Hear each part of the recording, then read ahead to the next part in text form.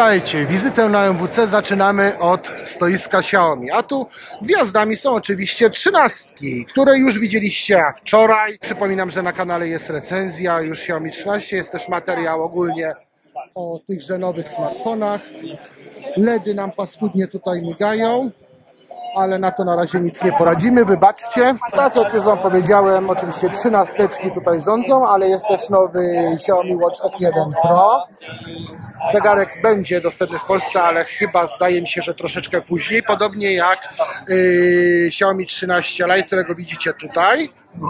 Jest też model Pro, to tamten ten biały, yy, no i ten, który tu widzimy. Są też oczywiście inne dobrze znane już modele, na przykład yy, bardzo mocno fotograficzny yy, Xiaomi 12S Ultra.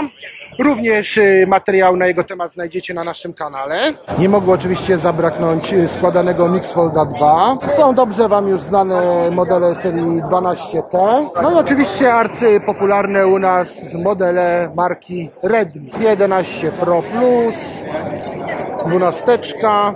O, to może rzucimy okiem, okiem na dwunasteczkę. Y, Coś mi mówi, że dwunastki niebawem powinny się y, pojawić już u nas. Są też naturalnie sprzęty ekosystemowe, no ale to akurat nie nasza działka, także przejdźmy dalej. A to już nowa hulajnoga Xiaomi, której niestety w Polsce nie będzie. Amortyzowane koła, bardzo długi zasięg do 70 km. Ale tak jak powiedziałem, no niestety to do nas nie trafi, a gdyby trafiło, to z tego co wczoraj widziałem na konferencji kosztowałoby u nas zapewne 5999. Nie wiem dlaczego tego nie wprowadzają, no ale tak usłyszeliśmy i trudno. No i to co najbardziej przykuwa uwagę, CyberDog, robotyczny piesio. Patrzcie jak fajnie służy. O, chyba się walnął w łepek. No trudno, fajnie drepcze, prawda? Przezabawny, uwielbiam na niego patrzeć. A to jest, moi drodzy, humanoidalny robot Cyber One. Tylko jak widzicie, dziś taki troszeczkę niemrawy chyba. Chciałem Wam jeszcze pokazać Xiaomi 12S Ultra Concept, czyli aparat fotograficzny dopinany do smartfona. Tak, to jest, słuchajcie, po prostu ten oto smartfon z dopiętym takim dodatkowym modułem fotograficznym. Niestety to jest w gablotce, więc no, ciężko mi to Wam zaprezentować, ale myślę, że widzicie o co chodzi. Dopinamy ten element do smartfona i ma on dawać taką jakość fotek, że po prostu gacie spadną.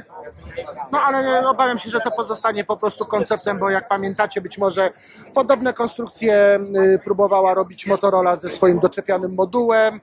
Y, Kiedyś Sony oferowało też takie dodatkowe y, moduliki współpracujące ze smartfonem i, i to jakoś się nie przyjęło, więc myślę, że i to również chyba by na rynku nie chwyciło.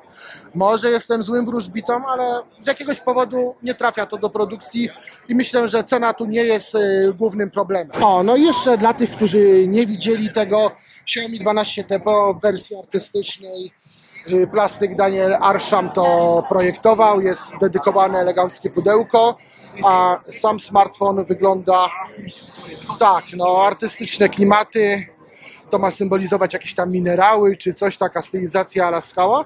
Trzeba przyznać, że wygląda to to nader efektownie.